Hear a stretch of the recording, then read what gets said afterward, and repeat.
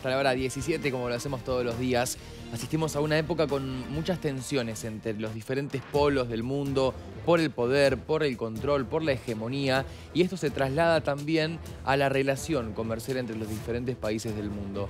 Citamos todo este preámbulo por las declaraciones chinas en relación a la Unión Europea y cómo aplica diferentes sanciones a Rusia, su relación con el gigante asiático. Habla de una doble vara, de un doble estándar.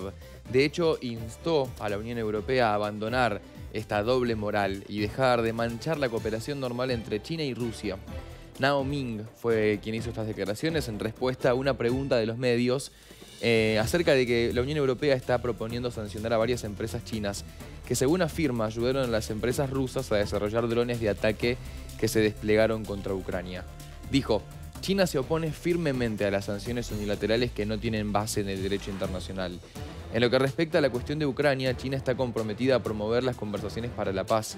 China nunca ha proporcionado armas a las partes en conflicto y controla estrictamente la exportación de artículos de doble uso y se opone al uso de drones civiles para fines militares.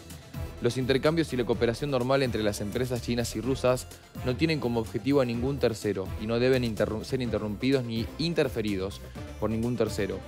Instamos a la Unión Europea que se abstenga de aplicar un doble rasero y deje de incluir en la lista de empresas chinas, de difamar a China y de echarle la culpa sin proporcionar ninguna base fáctica, dijo la representante asiática.